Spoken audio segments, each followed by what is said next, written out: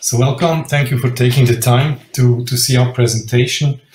Um, I would like to first company.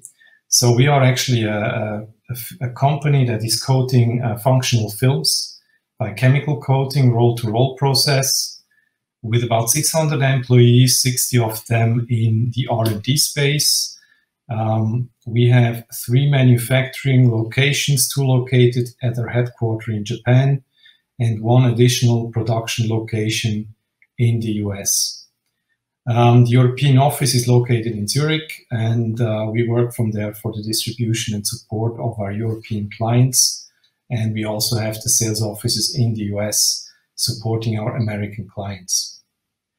So basically, we are working in coating technologies for major technologies so what we will talk about today is light management. This includes light diffusion films as well as light reflection films and light absorbent films.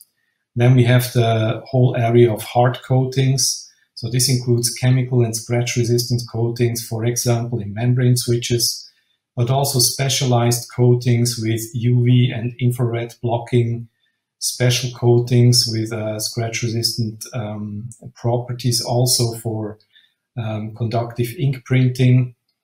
And then we have also a range of adhesive films, but they are mostly focused on removable adhesives that are used in processing applications. So um, we have different release strengths that we can offer.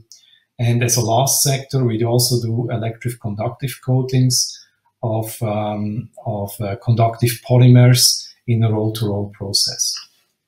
But today I would like to focus on our um, OptSaver diffusion films. So these uh, light diffusion films were originally developed in the 90s for big uh, flat TVs was the first application. Today they are used in many LCD backlit uh, um, systems in backlight units for LCD displays. And also an application that has grown out of the uh, white LED uh, movement was the general lighting that is used for uh, architectural interior lighting designs and also technical lighting in general.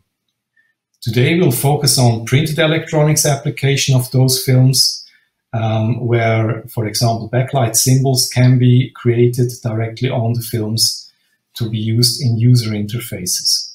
So the sectors of application are consumer electronics, uh, bigger like white goods, uh, automotive applications, and general industrial control units. If we look at the uh, basic application types where our films are used, we have actually two different um, things. So we have on the left side a direct illumination where the, the LEDs are aligned in a matrix and directly are um, shining on our diffusion film, so directed to, to, the, to the viewer. And in this case, um, the um, diffusion power is very important. Um, so you can actually have a closest possible distance between the LEDs and the diffusion layer. On the right side, we see the traditional system of backlight units that are used, for example, in LCD backlights.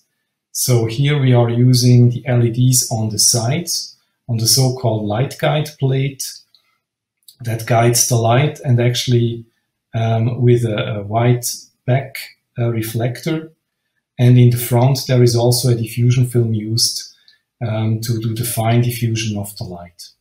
The big difference between the two um, if you look on the left side, uh, symbolized by the lamp, that uh, in a direct illumination application, you need a certain distance between the LED and the diffusion film to reach a nice and homogeneous illumination of the whole surface. On the other hand, with a light guide plate with an edge illumination, you can actually do very thin uh, designs that allow you to reduce the size of your illumination system.